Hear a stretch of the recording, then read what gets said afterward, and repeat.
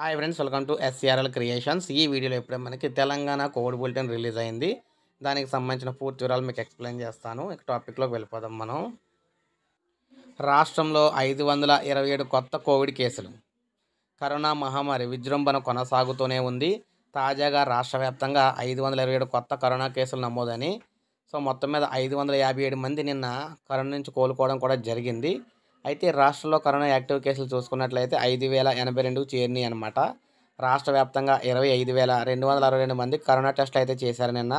తాజా కేసుల్లో రెండు వందల తొంభై కేసులు ఒక్క హైదరాబాద్లోనే నమోదు కాగా ఖమ్మం జిల్లాలో పదిహేను కరీంనగర్లో తొమ్మిది మేడ్చర్ మల్కాజ్గిరిలో నలభై మూడు రంగారెడ్డిలో యాభై ఐదు సంగారెడ్డిలో తొమ్మిది హనుమకొండలో పది అత్యధిక కేసులు అయితే నమోదైనాయి అనమాట సో మిగిలిన జిల్లాలో ఒకటి రెండు కేసులు అయితే రావడం జరిగింది.